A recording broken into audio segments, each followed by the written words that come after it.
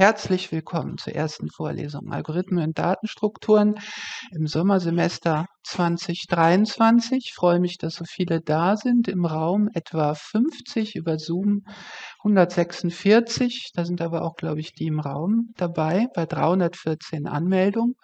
Warum auch immer. Was machen wir heute? Zum Organisatorischen sage ich eine halbe Stunde was. Inhalt, Ablauf, Kurssysteme. Wir fangen aber auch gleich an mit was ganz Einfachem sortieren. Ich zeige Ihnen ganz einfachen Sortieralgorithmus und erkläre Ihnen einen etwas komplizierteren, den Sie das fürs erste Übungsblatt implementieren sollen. Einfach so zum Warmwerden. Und äh, genau. Aber jetzt erstmal organisatorisches mache ich relativ schnell. Ich glaube gar nicht, dass ich unbedingt alles vorlese, was auf den Folien steht. Vor allem steht es auf den Folien, damit Sie sich dann später bei Bedarf auch äh, anschauen können. Wovon wir hier ausgehen, dass Sie schon kleinere Programme schreiben können, zum Beispiel sowas hier, berechnen, ob eine Zahl prim ist, Python.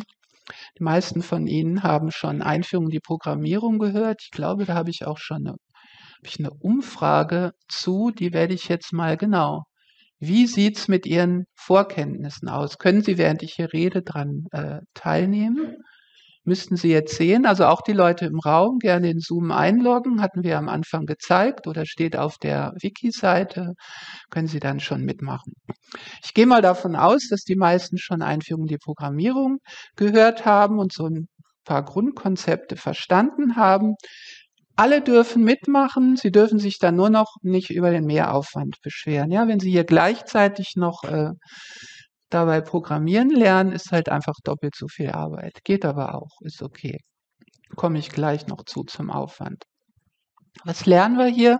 So ein paar Grundbausteine, die man immer wieder braucht. Wir fangen heute an mit Sortieren, assoziative Felder, Hashmaps, dynamische Felder und so weiter. Was hier steht, typische Frage, das gibt's ja jetzt in allen gängigen äh, Bibliotheken und dann benutzt man das einfach. Warum muss man das äh, verstehen, naja, wir sind hier in der Uni, da lernen wir erstmal, äh, was dahinter steckt, also wie man das überhaupt gemacht hat. Und tatsächlich, wenn Sie dann selber Projekte machen, will man auch oft mal eine Variation davon. Für einen Spezialfall kann man das dann vielleicht schneller machen. Äh, und dann ist einfach gut zu wissen, wie das überhaupt funktioniert. Und außerdem gibt es da interessante Mathematik dahinter. Dazu kommen wir gleich auch noch. Effizienz ist ein ganz großes Thema. Bei Einführung der Programmierung glaube ich noch nicht. Da ging es erstmal darum, wie man überhaupt irgendwas in ein Programm umsetzt für die, die das vorher noch nicht gemacht haben. Äh, und in dieser Veranstaltung ist das ein ganz entscheidender Aspekt. Man hat jetzt was gemacht und jetzt ist die große Frage, äh, wie schnell ist das? Kann man das schneller machen und wie weiß ich, ob es noch schneller geht? Ja, das ist ja schwierige Frage. Ne? Jetzt habe ich schneller gemacht, geht es noch schneller, geht es doppelt so schnell, geht es zehnmal so schnell, liegt es an der Programmiersprache, liegt es am Algorithmus? Das sind ziemlich interessante und tiefe Fragen, mit denen wir uns hier beschäftigen. Es geht um allen möglichen Ressourcenverbrauch. Speicherverbrauch kann auch sein, aber meistens geht es einfach um Geschwindigkeit. Man will, dass so schnell wie möglich ist. Wie machen wir das? Laufzeitanalyse lernen Sie was? Heute messen wir erstmal einfach nur Laufzeit, aber das schauen wir uns dann auch mathematisch an. Was damit auf sich hat, sehen wir dann. Manchmal ist nicht so klar, dass das, was wir implementiert haben, auch immer stimmt. Machen wir also auch ein bisschen äh, Mathematik. Hier ist ein Beispiel. Also Mathematik, sehen wir schon, wird eine Rolle spielen. Jetzt nicht besonders kompliziert, nicht nur Rechnen, schon auch wirkliche Mathematik. Aber nicht einfach nur Mathematik, wo Sie sich fragen, wie vielleicht in manch anderen Vorlesungen, warum wir das jetzt brauchen, sondern es wird dann immer sehr klar sein, warum wir die Mathematik hier brauchen. Jetzt zum Ablauf. Wie gesagt, am Anfang mal jetzt relativ schnell. Sie können übrigens jederzeit fragen. Sie können einfach reinquatschen, wenn Sie über Zoom dabei sind oder äh, hier im Raum einfach äh, was fragen. Das wird nicht aufgenommen. Es können aber auch alle einfach in Zoom-Chat schreiben. Gerne jederzeit. Zu den Vorlesungen, die sind, heute haben wir um Viertel nach angefangen, sonst, ich sage gleich was zu dieser ungewöhnlichen Uhrzeit, 14.05 Uhr bis 16 Uhr. Sie können hier hinkommen. Jetzt beim ersten Mal aus Gründen, die äh, hatte ich ja schon geschrieben, eines der ungelösten Rätsel der Menschheit noch, warum in der ersten Vorlesungswoche immer alle kommen wollen und dann nimmt das rapide ab. Sie können also ab der zweiten Woche ist hier genug Platz für alle, die kommen wollen. Sie können auch immer über Zoom teilnehmen. Einwahl, siehe Wiki. Ich zeige mal ganz kurz die Wiki-Seite. Die sieht so aus, falls Sie die noch nicht gefunden haben. Sonst findet man die, glaube ich, über unsere Webseite oder über Google. Da steht alles, da steht auch die Einwahl über Zoom. Hier unten immer die Vorlesungsmaterialien. Hier haben Sie auch schon die Folien und so weiter. Und auch nochmal den Zoom-Link. Zwölf Vorlesungstermine. Wir haben es um eins reduziert. Letzte am 18. Juli. Keine Vorlesung in der Pfingstpause und an einem noch auszuwählenden Tag. Vorlesungen werden gestreamt über Zoom, genau, und aufgezeichnet. Aufzeichnung schneiden wir, macht der Alexander Monaritz schon seit ein paar Tagen, Jahren sehr zuverlässig, in der Regel am selben Tag noch. Also irgendwann abends sollten die zur Verfügung stehen. Auf der Wiki-Seite habe ich gerade gezeigt, finden Sie alle Materialien, also auch zum Beispiel die Folien für heute, natürlich noch ohne Annotationen. Okay, da muss ich mich jetzt mal anmelden. Das mache ich doch gerade mal. Das sind die Folien für heute. Wenn Sie also jetzt in der Vorlesung, und vielleicht habe ich was erklärt, Sie waren noch auf der Folie vorher, können Sie hier äh, schauen. Das Übungsblatt steht da auch. Den Code, den wir zusammenschreiben, steht nach der Vorlesung da. Also alles auf dem Wiki. Wir finden das auch alles im SVN. SVN, was das ist, sage ich am Ende noch, aber die meisten von Ihnen hören, glaube ich, auch Programmieren. Wer hört hier im Saal auch parallel Programmieren in C++? Ja, doch relativ viele, die Hälfte, die andere traut sich nicht. Genau, SVN, da benutzen Sie das auch, das ist gut. Muss ich da nicht so viel erklären. Da gibt es einen Unterordner Public. Armin Biere macht das genauso, hat unseren Setup da kopiert, das ist ganz gut. Äh, und da steht auch alles außer die Aufzeichnung. Die stehen nicht im SVN. Das ist ganz praktisch. Da können Sie sich das einfach immer drüber holen. Zur ungewöhnlichen Vorlesungszeit möchte ich was sagen. Wir machen das immer so, äh, dass wir die ersten zehn Minuten, heute ist das anders, aber in den zukünftigen Vorlesungen erstmal organisatorisches und dann ein bisschen was zur letzten Vorlesung und zum letzten Übungsblatt. Um 16.15 Uhr geht es dann mit dem neuen Inhalt los machen wir deswegen so, also es ist ganz interessant, sich das anzuhören, aber es gibt vielleicht ein paar, die haben, danke für den Hinweis, dass diese Uhrzeit nicht stimmt. Sie passen auf, oder? Hört mir jemand zu? Genau, das ist, äh, genau. So, 14.05 Uhr bis, äh, nee, 14.15 Uhr vielleicht, genau, 14.15 Uhr. Gucken, ob es jetzt stimmt organisatorisches letztes Übungsblatt um 14.15 Uhr. Es gibt ja vielleicht ein paar, die vorher erst noch von einer anderen äh, Vorlesung hinkommen, weiß nicht, wie viele das betrifft. Die verpassen dann vielleicht diesen Einführungsteil, aber nichts von dem neuen Stoff. Das ist sehr blöd, wenn was Neues erklärt wird. Man verpasst die ersten fünf Minuten, dann kann es schwer sein, reinzukommen. Wenn Sie aus irgendeinem Grund den Anfang verpassen, also die ersten zehn Minuten oder früher gehen müssen, ist alles auf der Aufzeichnung da. Es wird eine oder zwei kurze Pausen geben, je nachdem. Warum machen wir das so? Wir haben in den letzten Jahren ziemlich viel mit der Vorlesungszeit rumexperimentiert. Die reguläre Zeit ist anderthalb Stunden. Das kann man natürlich auch machen, geht aber meistens auf Kosten von diversen Sachen, wie zum Beispiel genaue Erklärung, genügend Zeit und äh, zum Nachdenken und für Fragen. Es hat sich einfach bewährt, äh, genug Zeit zu lassen und nicht dann am Ende, oh, ich habe ja noch fünf Folien, husch, husch, wir machen das lieber in Ruhe. Wenn Sie früher gehen müssen, ist es wenigstens auf der Aufzeichnung mit vernünftigen Erklärungen. Und wenn ich was erkläre, was ein bisschen komplizierter ist, machen wir es langsamer, sodass Sie auch Gelegenheit haben, in der Vorlesung oder wenn Sie über Zoom äh, dabei sind, das nachzuvollziehen. Wir haben einfach gemerkt, wenn wir das machen, also wenn man das nicht so im Sinne von einer Show macht, sondern so ein bisschen langsamer, kommen auch tatsächlich mehr Fragen und Sie merken, wenn eine Fehler auf der Folie steht, zum Beispiel 16.05 Uhr statt 16 Uhr. In Zoom hat es aber jemand gemerkt. Vielen Dank dafür. Alternative wäre, es war früher eine zweiterminige Vorlesung, das will aber, glaube ich, kein Mensch. Könnten wir natürlich auch machen. Zweistündige und dann noch ein Termin mit einer einer Stunde, aber dann muss man das alles organisieren, nochmal hinkommen. Manche kommen dann zur ersten in der Woche, manche zur zweiten. Keine gute Idee.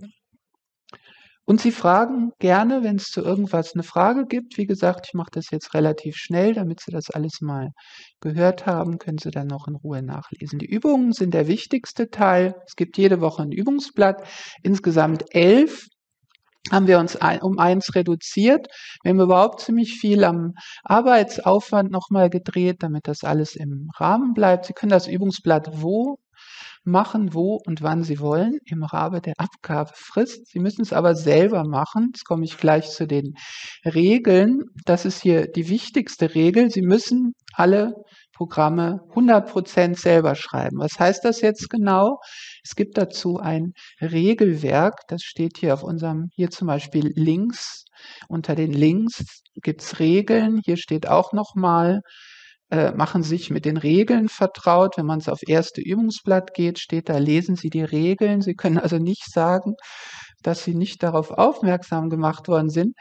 Ich, wir gehen jetzt nicht ganz durch. Es gibt zehn Regeln nach historischem Vorbild zu Programmiersprachenabgabe und so weiter. Aber hier zu der möchte ich doch kurz was sagen, weil das wichtig ist. Thema Zusammenarbeit damit es da auch wirklich gar keine Missverständnisse gibt. Und Sie können gerne jetzt fragen, wenn irgendwas nicht klar ist. Sie können gerne, viele von Ihnen möchten das, sich in irgendwelchen Gruppen online oder live oder wie auch immer zusammensetzen und über die Übungsblätter nachdenken. Aber es ist wichtig, dass das, was Sie dann am Ende machen, das müssen Sie zu 100 Prozent selber machen. Also wenn Sie irgendwie Code kopieren, auch nur teilweise, dann äh, verstoßen Sie gegen die Regeln. Und das gilt auch für das teilweise Übernehmen von einer anderen Person, von einer Musterlösung von früher. Manche Aufgaben sind vielleicht so ähnlich wie früher. Äh, auch ChatGPT oder Copilot oder irgendwas aus dem Internet. Jetzt sagen Sie, haha, das merken wir doch niemals. Wenn ich Copilot benutze, dazu sage ich, wenn fünf von Ihnen Copilot benutzen und dieselbe Vorschläge kriegen, dann merken wir das natürlich auch. Also bei vielen hundert Leuten machen Sie es einfach nicht. Später mal ist sowas wie Copilot, also Sachen, die Ihnen Codestücke vorschlagen, ganz nützlich, aber am Anfang ist es eher ein Hindernis äh, zum Lernen. Ja, also man lernt nichts gerade am Anfang, wenn man Code beziehungsweise Lösungen übernimmt. Sie lernen dann einfach nichts. Und, und machen Sie es einfach nicht. Wir finden das raus, gilt als Täuschungsversuch. Ich sage es nur einmal. Es steht da jetzt hier in Rot und Fett, aber also nehmen Sie das ernst, weil wir finden das raus. Und ich muss das einfach einmal sagen, weil es wird doch sonst recht viel geschummelt.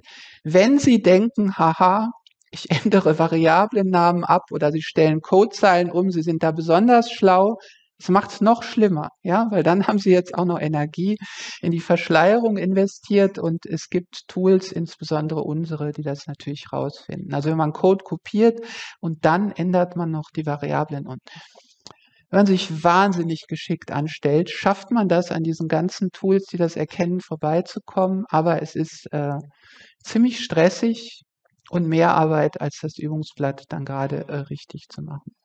Und Konsequenzen gibt es auch äh, für, für alle Personen, die an der Kopieraktion beteiligt sind, also auch für die, die ihren Code zur Verfügung stellen muss ich leider so deutlich sagen.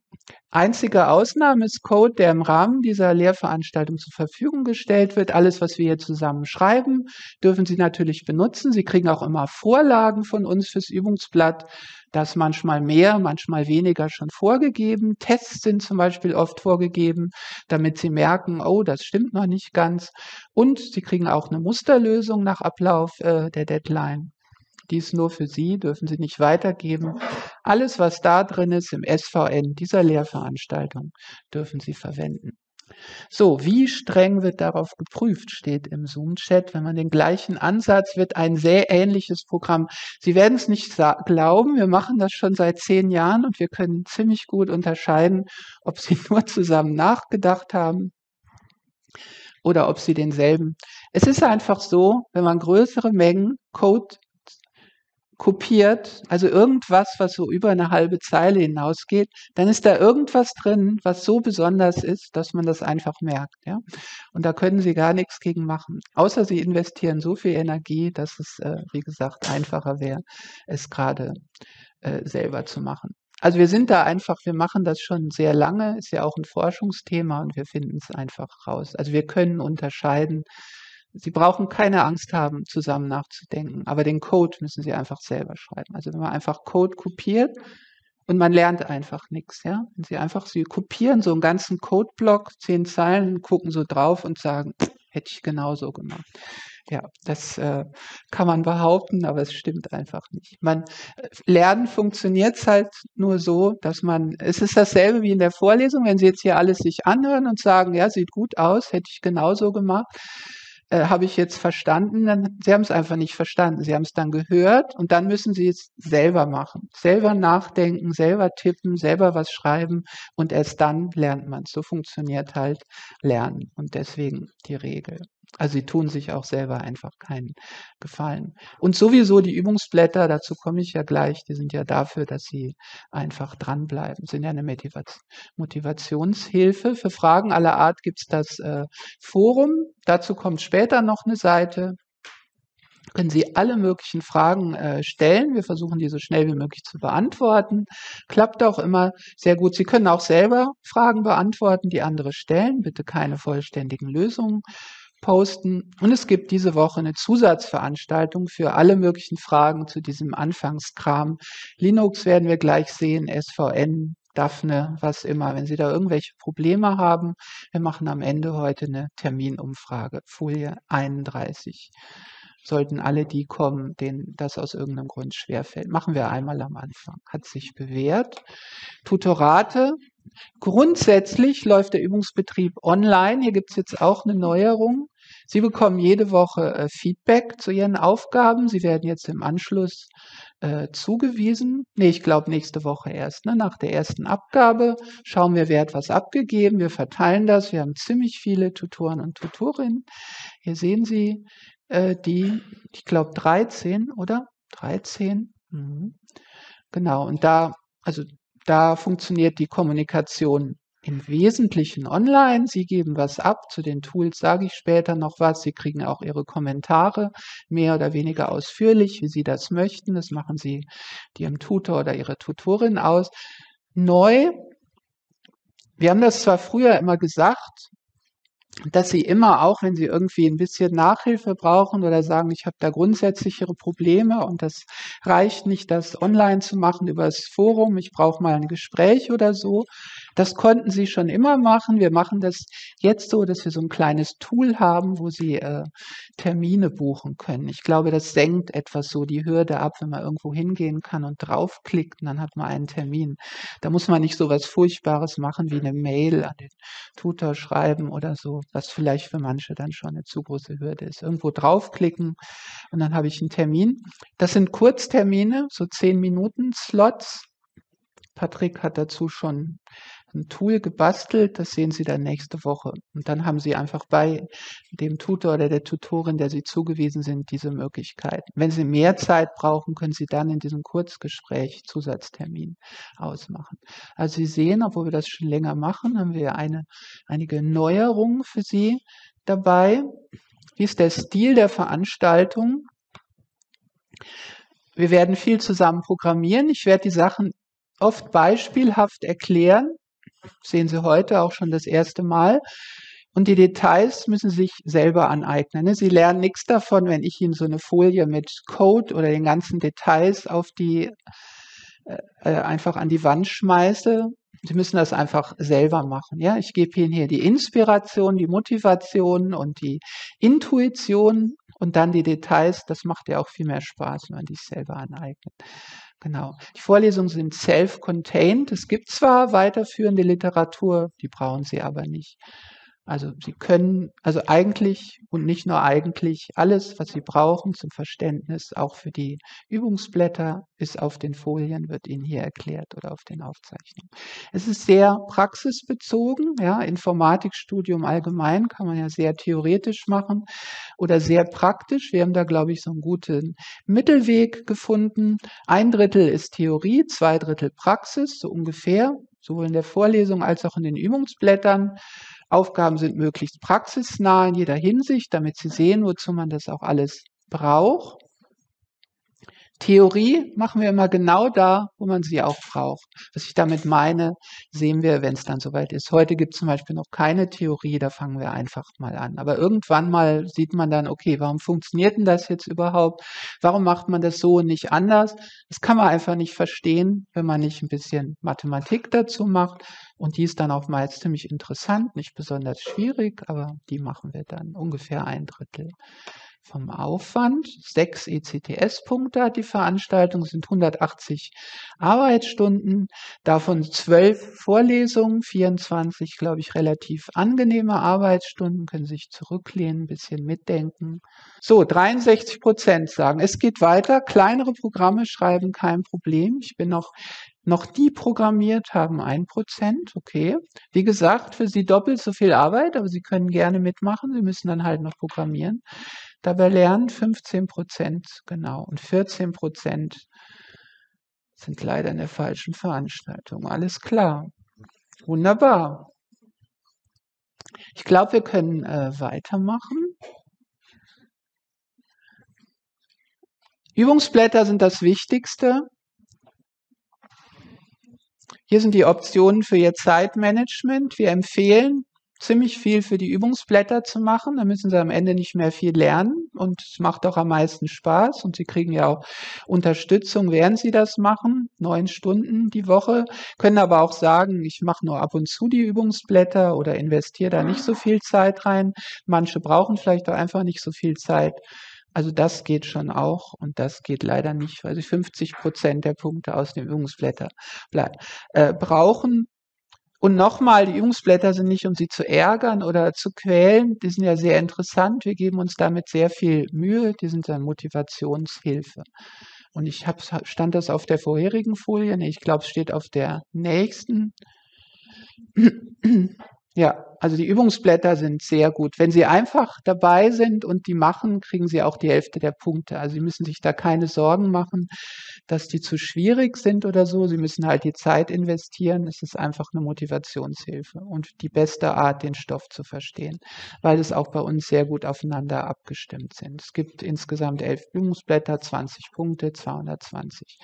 Am Ende fürs Ausfüllen der Evaluation gibt es nochmal 20 Punkte. Ersetzen die Punktezahl des schlechtesten Übungsplatz und dann äh, können Sie als eine Art Joker einsetzen für Kranksein, sonstige Umstände und so weiter.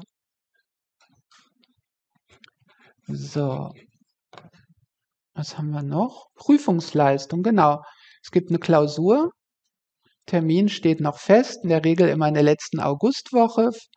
100 Punkte gibt es da drei Arten von Aufgaben. der letzten Vorlesung, die dann erfahrungsgemäß auch immer besonders voll ist, gibt es dann Details dazu. Wir rechnen dann auch ein paar Aufgaben live. Drei Arten, sage ich jetzt schon mal. Grundverständnis, tieferes Verständnis, Programmieren. Die Übungen sind ja sehr praktisch. Für die Klausur gilt das auch. Da gibt es auch ist jetzt ruhiger geworden, oder? Wo ich das Wort Klausur gesagt habe. Interessantes Phänomen. Details in der letzten.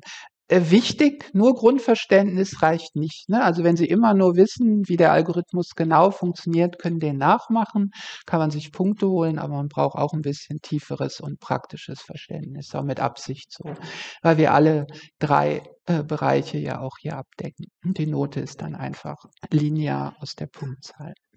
So, findet die Prüfung am PC statt? Nee, Programmieraufgaben, Sie können sich übrigens, wenn Sie da ein Gefühl für haben wollen, wir machen das ja alles super transparent, mit Absicht, aus irgendeinem Grund ist das jetzt hier sehr groß. Ich wundere mich gerade, aber die, warum ist das? Ah ja, genau. Ah, ah, hier fehlt noch, Patrick, vielleicht können wir den gerade dazu machen, die ganzen Klausuren aus den Vorjahren. Aber wenn Sie zum Beispiel hier hingehen, Ah. Ne, aus irgendeinem Grund hatten wir das nicht mal.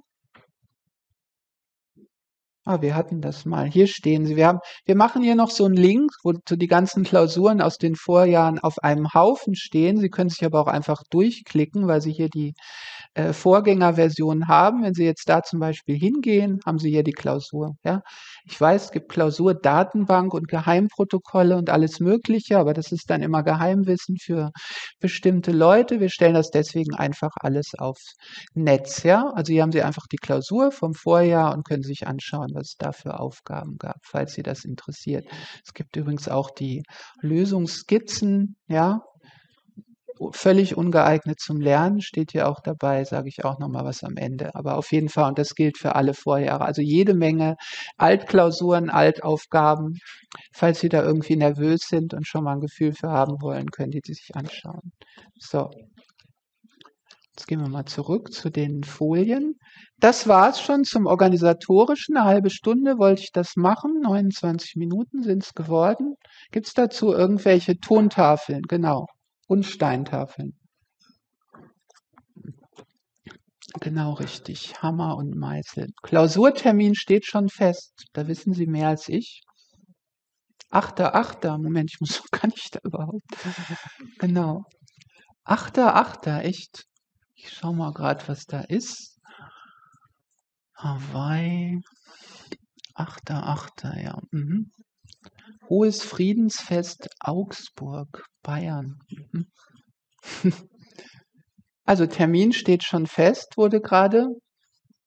Gut, 14 Uhr. Ja, ja, gerne, genau, Fragen. Ja, hallo.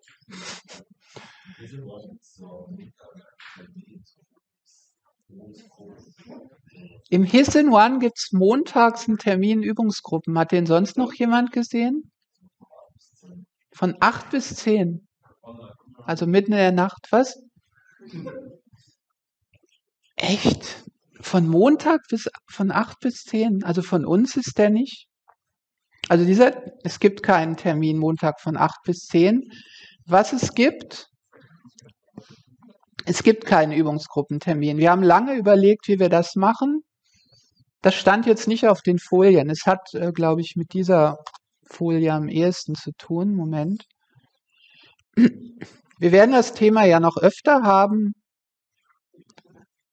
Ne, wir haben alles schon probiert. Ein Tutorat pro Tutor oder Tutorin, wo man dann hingeht, ein Gesamttutorat pro Woche, alles möglich. Da kommen einfach Leute nicht hin zu so Extraterminen. Und gerade die, die es bräuchten, kommen da nicht hin oder sagen nichts. Wir machen das so, im Wesentlichen online. Sie können übers Forum Fragen stellen, kriegen da viel sofort Antwort. Sie können mit Ihrem Tutor, Tutorin über die Übungsblätter hin und her mehr oder weniger ausführlicher. Manche sagen, ich will gar kein Feedback. Andere sagen, bitte erklär es mir genau. Das können Sie dann individuell ausmachen. Also einfach diese sehr individuelle Betreuung. Das hat sich bewährt. Und dann gibt es jetzt noch diese Möglichkeit, Slots zu buchen. Ja, wenn Sie sagen, oh, da brauche ich mal jemanden, den ich sehe, der mir das erklärt oder die, haben Sie diese Möglichkeiten. Aber keine Tutoratstermine. Ja, das ist ein Zusatztermin ein fester, wo dann auch sowieso nicht jeder kann, ja, einen Termin finden, wo jeder kann, geht auch nicht, hat sich einfach nicht bewährt. Beantwortet das die Frage? Und acht bis zehn wäre immer da, ja. Gibt sonst noch irgendeine Frage? Qua genau, quasi nur die Vorlesung dienstags. Quasi, genau, was immer quasi heißt, ja. Quasi plus alles, was ich gerade gesagt habe. Gibt sonst noch Fragen zum Gar keine Ilias-Seite. Na, hätten Sie gern eine? Also es gibt das Forum, das ich nachher noch zeige, und es gibt die Wiki-Seite. Wir brauchen keine Ilias-Seite. Also es gibt quasi gar keine Ilias-Seite, sollte ich vielleicht sagen. Gibt es sonst noch irgendwelche Fragen? Also gerne, bevor wir dann mit Sortieren weitermachen. Ja, bitte. Genau, wann ist die Deadline? Gute Frage. Das habe ich, glaube ich, vergessen zu sagen. Die Deadline ist immer zwei Stunden vor der Vorlesung, vor der nächsten, also bis 12 Uhr, 12.00. Und ich würde, ah ja, genau, weil Sie das fragen, ich bin jetzt vielleicht etwas, also Sie, es steht ja an 100 Stellen, dass Sie diese Regeln durchgehen müssen. Also Sie müssen sie wirklich einmal durchlesen von Anfang bis Ende. Ja, Hier sind wir gerade drüber gegangen, die anderen sind aber auch wichtig, bevor Sie, und nicht nur erst bevor Sie abgeben, sondern bevor Sie anfangen, am ersten Übungsplatz zu arbeiten, damit Sie nicht in eine falsche Richtung losgehen. Ich lese jetzt nicht alle vor, aber ein paar wesentliche Punkte ist, glaube ich, ganz gut, wenn wir die jetzt zusammen durchgehen. Vielen Dank für die Frage. Programmiersprachen haben Sie drei zur Auswahl. Java, C++, Python, aber wir machen ja alles in Python. Der Einfachheit halber ist ja nicht die Programmiervorlesung und 100 Prozent der Leute machen das, also Python. Aber sie können auch C++ verwenden, wenn sie wollen. Ist dann halt doppelt so viel Arbeit. Das ist noch wichtig. Also Termin ist immer 12 Uhr vor der nächsten Vorlesung. Das heißt, Sie haben nicht ganz eine Woche minus vier Stunden Zeit nach Ende der Vorlesung. Und maßgeblich ist die, Vers die letzte Version vor der Deadline. Sie können da so viel committen vorher, wie Sie wollen und machen Sie das auch ruhig. Ne? Sie haben schon mal was und das funktioniert noch gar nicht. Das hat ja auch so eine äh, Speicher-Backup-Funktion. Sollte man auch einfach machen. Ja, damit man einfach, oh, vorher hat doch was funktioniert, jetzt funktioniert es nicht mehr, können Sie sich einfach die ältere Version holen. Also machen Sie das, so viele Zwischenversionen, wie Sie wollen. Bei der Gelegenheit vielleicht, Sie sollen uns ja auch immer Feedback geben jede Woche. Dafür gibt es so eine Datei, steht auf dem Übungsblatt. Das äh, Moment, das Übungsblatt zeige ich gerade auch noch mal. Hier unten ist es gibt es immer so eine Datei, Erfahrung TXT, die Sie in Ihren Ordner mit committen, wo Sie auch was reinschreiben.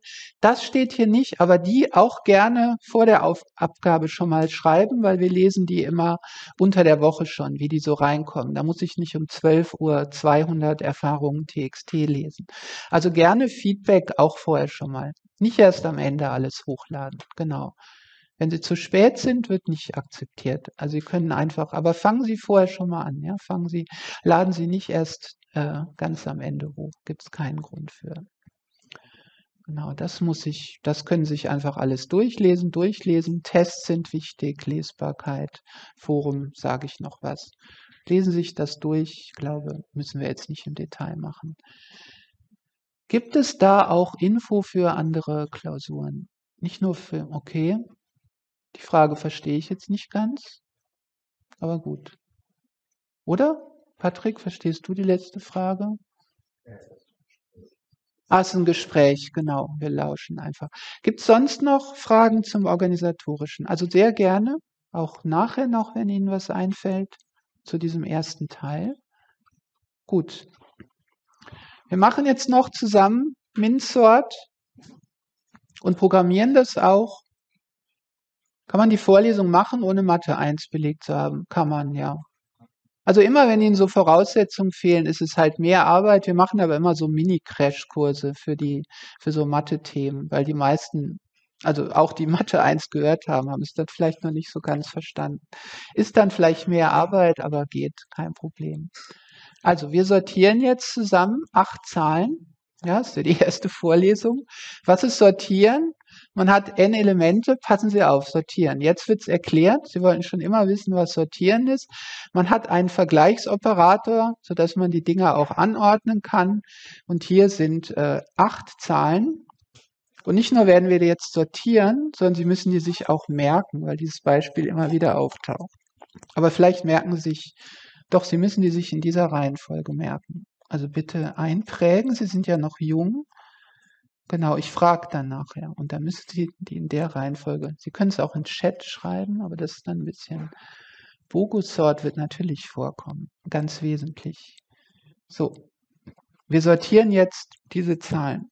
Trommelwirbel. Was ist die erste Zahl in der aufsteigend sortierten Reihenfolge?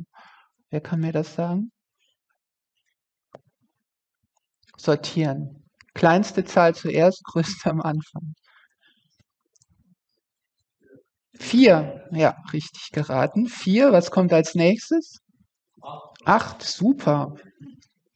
Dann 17, Wahnsinn, ja, und dann 19, die 19 steht in der 19. Ob das Zufall ist, was kommt als nächstes? Nochmal 19, okay, wir haben, also es wird jetzt nicht etwa rausgeschmissen und dann 32, genau. 44, 65, genau. Das ist Sortieren. Genau. Also das ist Sortieren. Sie fragen sich jetzt, wofür braucht man das? Braucht kein Mensch. Tatsächlich braucht man Sortieren immer. Also tatsächlich hat mein Kollege das irgendwann gefragt bei einem Vortrag. Ich sage jetzt nicht welcher, der lehrt auch hier an der Uni Freiburg. Wofür braucht man überhaupt sortieren? Das war die dämlichste Frage, die ich je gehört habe.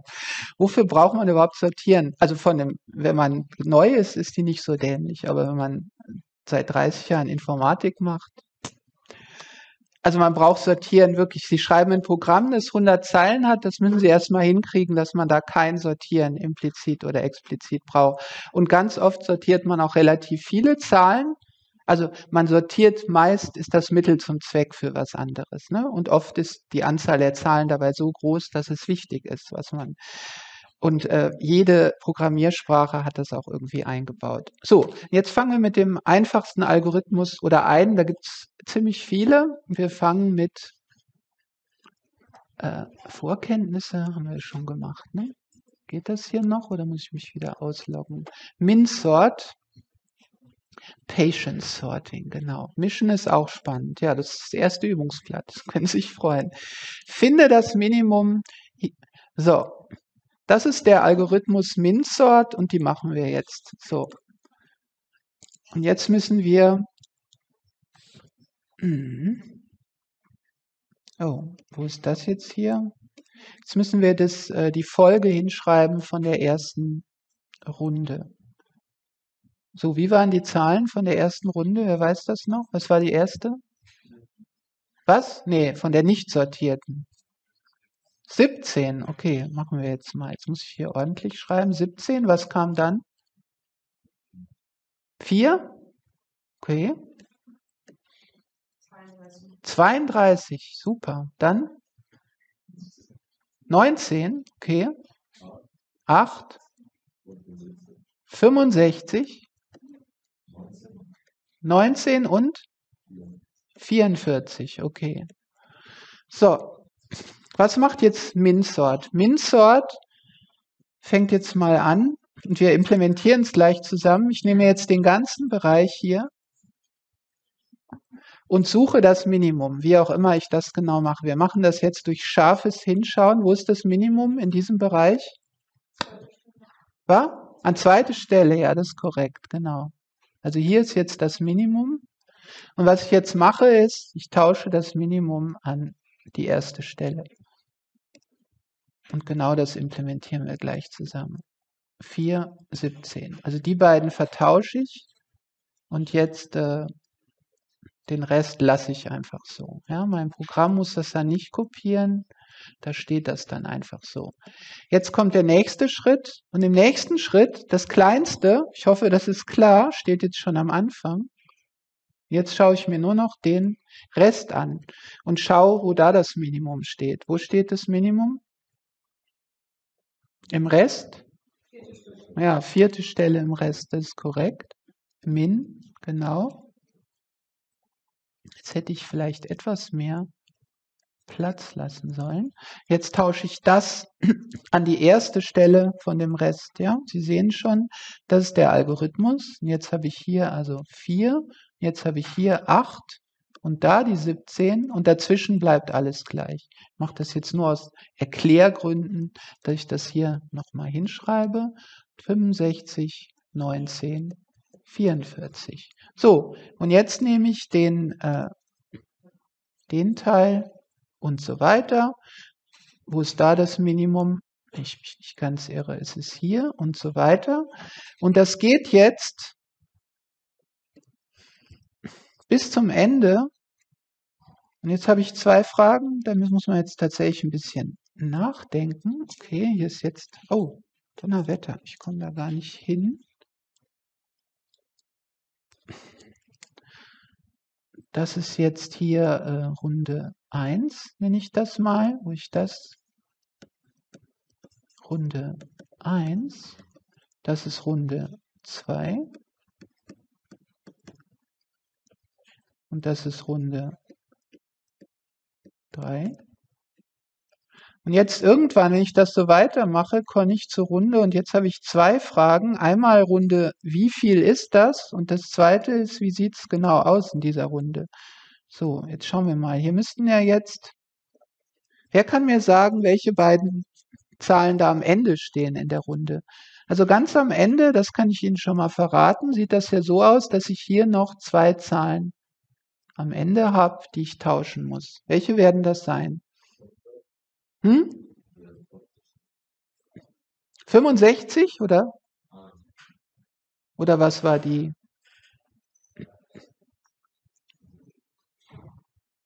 Was steht am Ende? Genau, und n ist hier übrigens gleich 8 in der Aufgabe. Wir haben 8 Zahlen.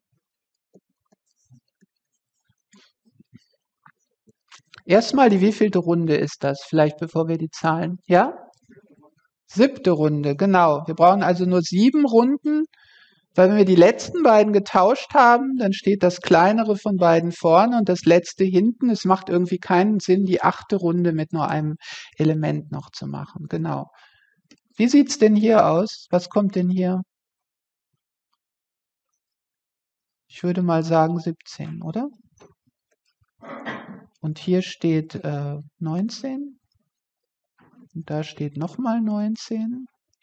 Und hier steht 32. Was steht jetzt hier und was steht hier? Was steht zuerst?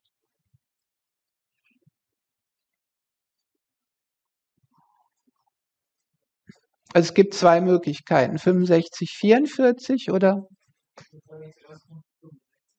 Okay, es wird behauptet, zuerst kommt die 65 und dann die 44. Warum? Was denken Sie?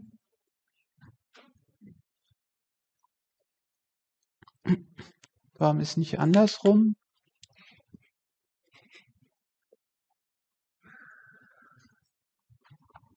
Ja, sagen, genau, bitte.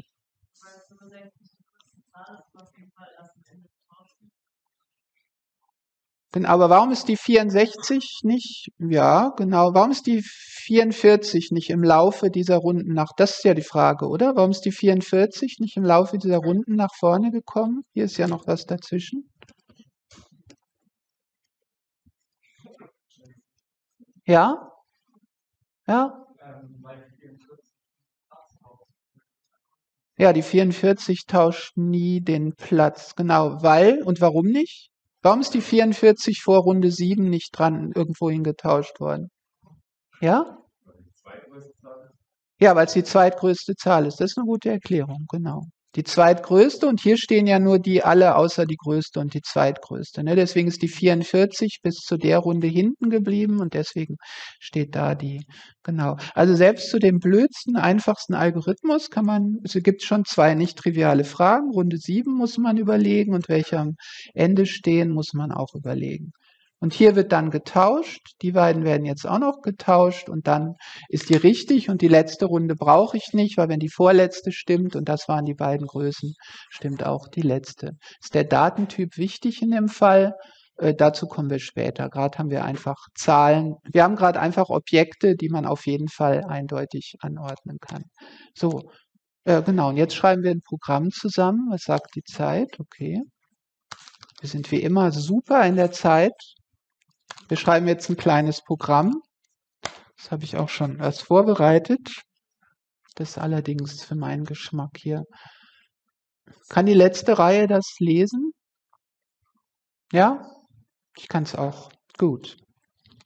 Was ich hier schon gemacht habe, ich habe hier schon also einfach ein bisschen Python-Code ich habe im Wesentlichen den Kommentar geschrieben. Ja, wir wollen hier einfach ein Feld, ein gegebenes mit wie auch immer vielen Zahlen sortieren. Und hier habe ich auch schon einen Unit-Test geschrieben, Doc-Test in Python. Den kann man einfach in den Kommentar schreiben, wenn ich es aufrufe für dieses Feld, das Ihnen bekannt vorkommen sollte. Stand da auch 8 auf der Folie vorher. Dann sollte das rauskommen. Und jetzt implementieren wir das mal zusammen. So, jetzt brauchen wir ja irgendwie diese Runden. Machen wir das mal. Den Rundenzähler nennen wir einfach mal i. Wie viel genau, wissen wir noch nicht. So, und jetzt müssen wir äh, erstmal das Minimum finden. Wir fangen also mit Runde 1 an, gehen wir nochmal zu unserem und so sollten Sie das am Anfang, glaube ich, auch machen. Das ist gut, wenn wir Algorithmen erklären, entweder auf den Vorlesungsfolien oder Sie schauen, machen sich selber so auf ein Blatt Papier und dann versuchen Sie das umzusetzen. Ja, für viele ist das ja noch relativ neu. Jetzt haben wir hier die erste Runde. Das ist jetzt äh, i gleich 1. Das kann ich vielleicht mal dazu schreiben. Das ist also jetzt hier i gleich 1 in meinem Code. Und da will ich von 1 bis n das Minimum finden. Ja? Find the minimum uh, among in und mein Array ist, äh, geht von i bis, äh, bis zum Ende. n minus 1 und n ist die äh, Größe des Feldes. So, wie finde ich das Minimum? Naja, ich gehe einfach mal äh, durch und merke mir, dass ich könnte jetzt auch irgendeine Funktion aufrufen von Python, aber ob das so geht mit einem Teil von Feld, das machen wir mal lieber äh, selber. Nennen wir hier mal eine Variable min so far. Also wir wollen jetzt einfach am Anfang ist i gleich 0, dann suchen wir im ganzen äh, Feld. Min so far ist das erste.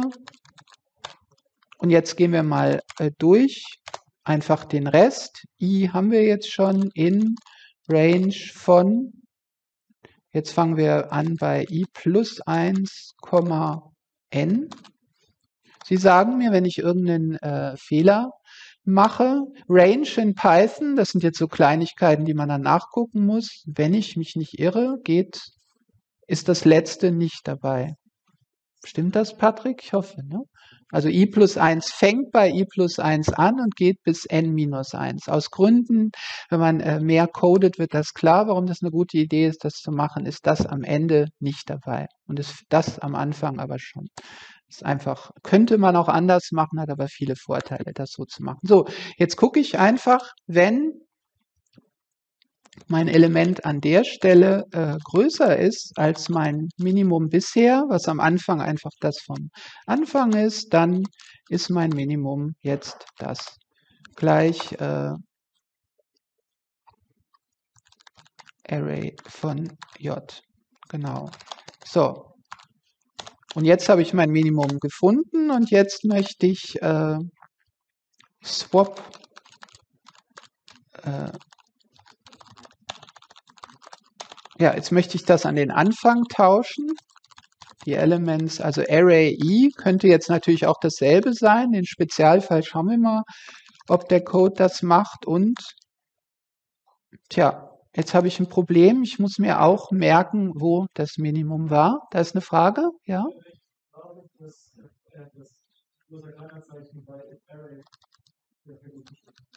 Hm, sehr gut. Glaube ich auch. Wir wollen ja das Minimum finden, nicht das Maximum. Was ich mir jetzt auch noch merken muss, min so far Index, also wo das Minimum steht, reicht nicht mehr das. Um das Minimum zu finden, reicht die Variable. Um zu finden, wo es steht, brauche ich noch eine andere. Machen wir jetzt einfach hier min so far Index. Wenn ich ein neues Minimum finde, ist es einfach das. Und jetzt tauschen wir die beiden. Wie machen wir das? In Python kann ich das so machen, indem ich zwei Variablenzuweisungen auf einmal mache. Ich mache jetzt hier Array, i, also an diesen beiden Positionen. Und die sollen jetzt gleich, hier fange ich mal eine neue Zeile an, Array min so far index. Kann man in Python machen, soweit ich informiert bin. Ja, das sind einfach zwei um Zuweisungen auf einmal und was die effektiv machen, ist das Tauschen und ich bin mir auch ziemlich sicher, dass das auch funktioniert, wenn min so far Index gleich i ist. Könnte man jetzt noch ein if einbauen, dass das dann okay.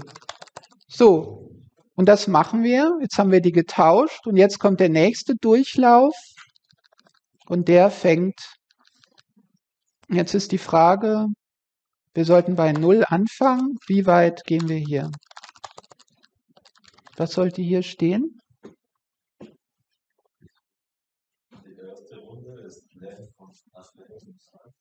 Ja, genau. Die, es, es, Genau. Und, aber das ist ja jetzt, genau, wie viel, also die erste Runde gehen wir hier hin, ist von 0 bis n minus 1, genau. Und die zweite ist von 1 bis n minus 1.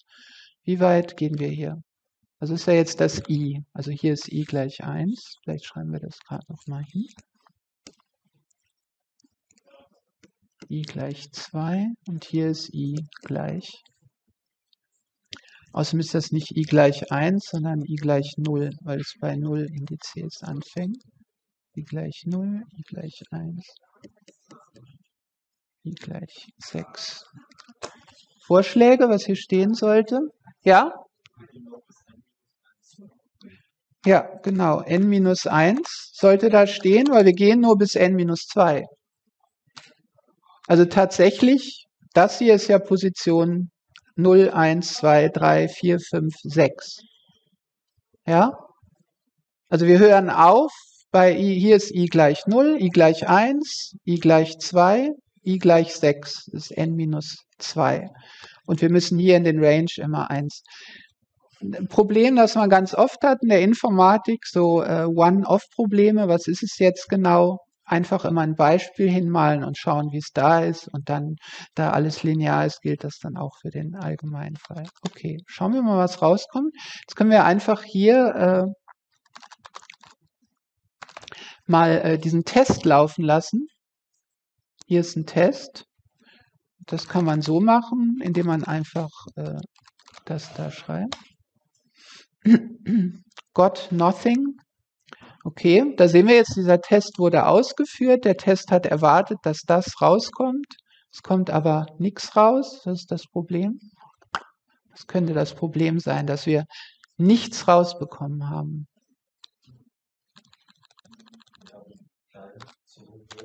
Ja, wir haben keinen Zurückwert gemacht, genau. Das steht hier in dem Kommentar. Also eigentlich, wenn man Python ein Feld übergibt, dann wird das Feld verändert. Ja, das wird Call by Reference, lernen Sie in C++. Aber in Python ist das sozusagen eingebaut, gibt es gar keine andere Wahl. Für die einfache Testbarkeit geben wir es hier aber auch zurück. Das müsste man eigentlich nicht machen, dann wäre nur der Test etwas komplizierter. Schauen wir mal. Okay, dann klappt. Machen wir doch noch ein paar andere Tests dazu, damit Sie auch mal sehen, wie diese Doc-Tests funktionieren. Min-Sort äh, machen wir zum Beispiel mal rückwärts sortiert. Und was soll da rauskommen? 1, 2, 3, 4, 6. Schauen wir mal. Das funktioniert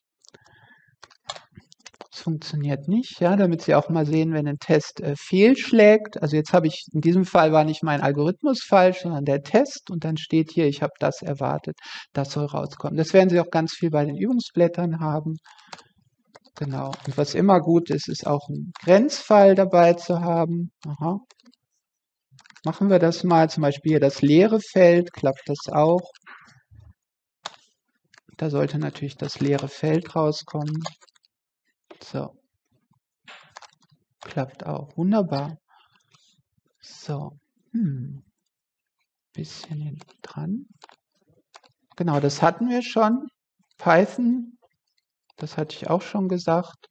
Also wie gesagt, in der Vergangenheit, früher war es auch gemischt, haben 100% Python genommen, weil es einfach weniger Arbeit gibt und weil es ja, ja nicht die Programmiervorlesung ist, sondern Algorithmen und Datenstrukturen. Jetzt schauen wir uns mal die Laufzeit an indem wir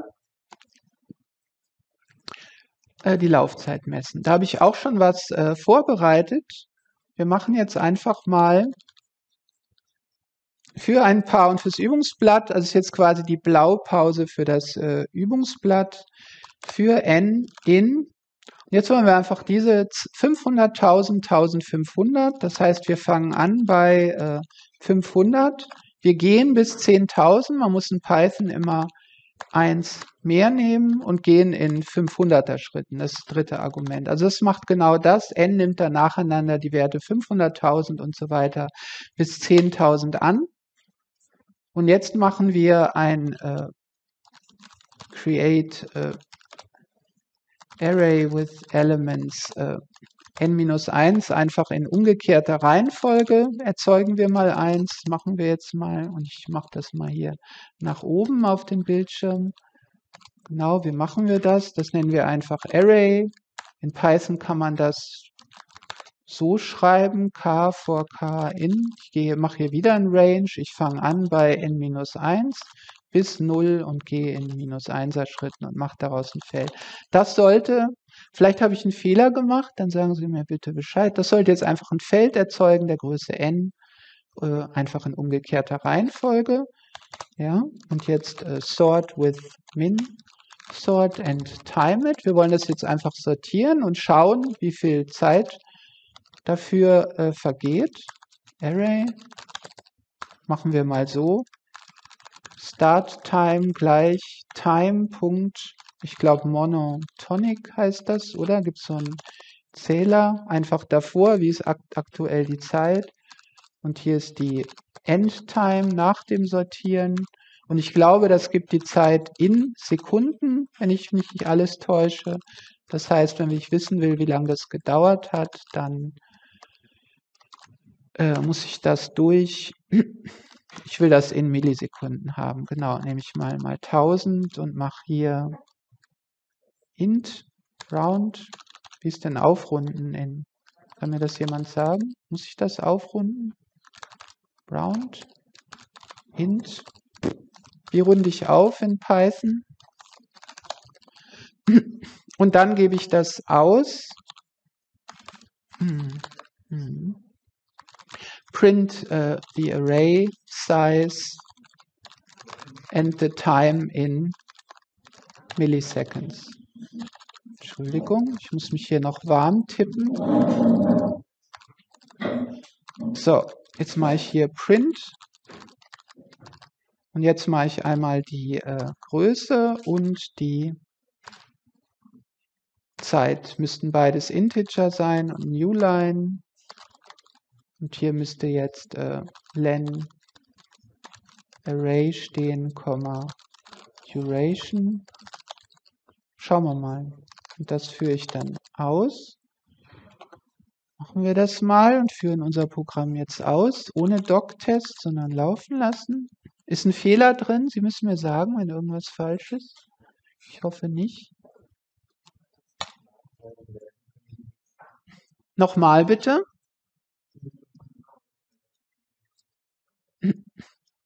Mal 1000. Sehe ich aber auch so.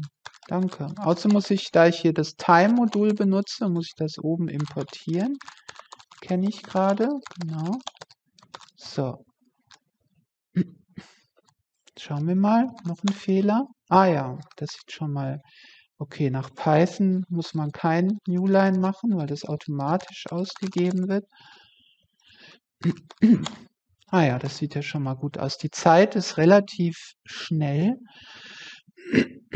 Und das wundert mich auch. Warum kommt da 499 raus? Wer kann mir das sagen? Das liegt, glaube ich, daran, weil ich hier, ah, weil die 0 nicht dabei ist. Ich glaube, hier sollte ich 1, sonst sind die 1 zu klein.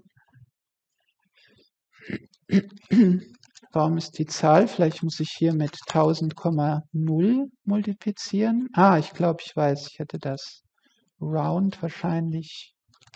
Das ist hier eine Floating Point Zahl. Schauen wir mal so, was da rauskommt. Ah ja, das sieht doch schon besser aus. Okay. Jetzt habe ich die Zeit in Millisekunden, die da rauskommen. Jetzt schauen wir uns mal an, was passiert, wenn das größer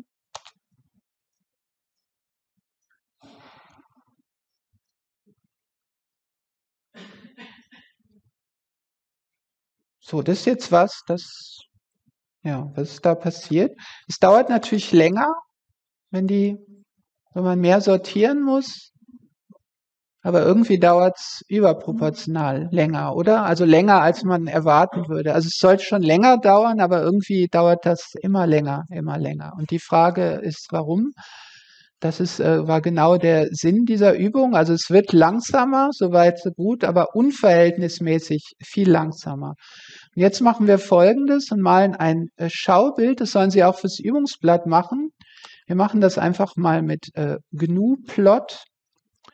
Dazu äh, mache ich das in eine Datei. Und gleichzeitig auf dem Bildschirm. Ich könnte es jetzt in der Datei umleiten. Zu diesen ganzen Sachen auf der Konsole, Linux und so weiter gibt es den Einführungskurs, da kommen wir gleich noch. Ich könnte es jetzt zum Beispiel so machen, indem ich hier das in der Datei mit diesem größer umleite. TSV nenne ich die, Tab Separated Values, weil es zwei Zahlen sind, die durch äh, äh, einen Tabulator getrennt sind. Ich könnte die aber irgendwie nennen. Jetzt sieht man aber nichts. Ich kann auch äh, T machen, T, ein Pipe.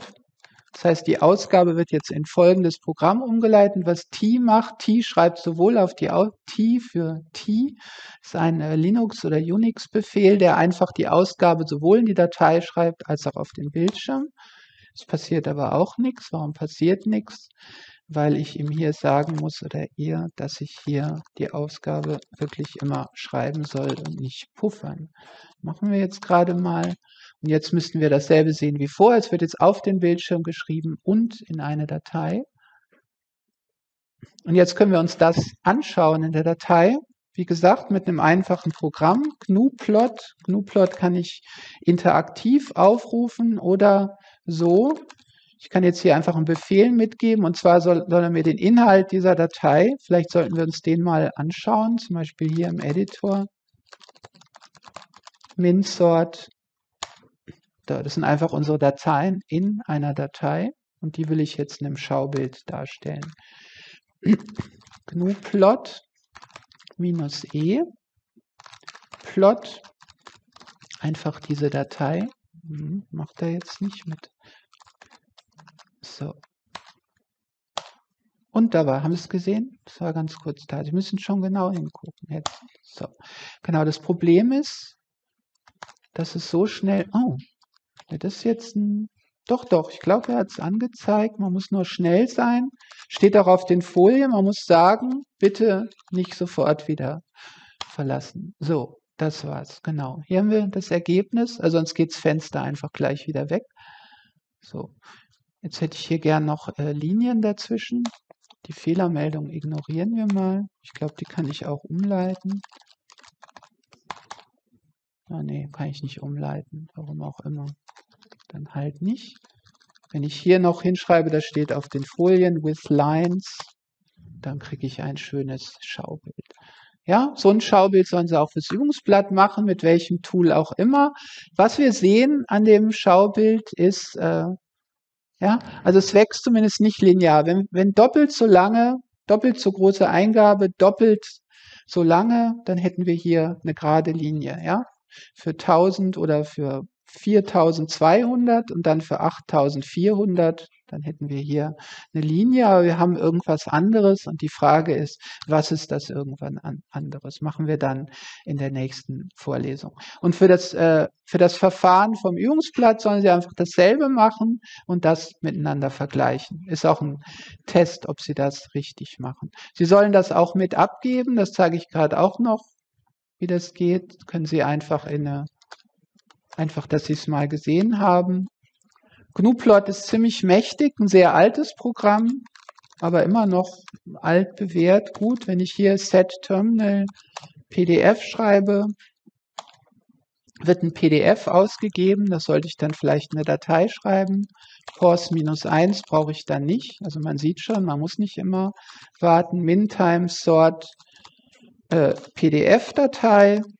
Jetzt steht es in einer PDF-Datei, die könnte ich mir jetzt hier anschauen. Jetzt habe ich hier eine PDF-Datei, vielleicht gleich in Fullscreen. Und dann können Sie das abgeben. Ja? So, jetzt habe ich das Ganze gleich in eine PDF-Datei. Wie ich da jetzt wieder rauskomme, weiß ich allerdings nicht. Gibt es zum MinSort gerade irgendeine Frage, bevor wir jetzt eine kurze Pause machen und dann weitermachen? Irgendwelche Fragen zum Windsort? Gut, fünf Minuten Pause, dann geht's weiter. Bitte nicht weglaufen. Bis gleich. So, weiter geht's. Merge Sort. Das war MinSort. Das war so eines der einfachsten Sortierverfahren. Und fürs erste Übungsblatt, also nach dem Muster haben wir öfter mal Übungsaufgaben, aber jetzt ist es besonders so in der Vorlesung für ein einfaches Verfahren, der Übungsblatt für ein etwas komplizierteres, müssen Sie dann selber machen. Aber Sie sehen, Sie sollen genau dasselbe machen, dann die Laufzeit messen.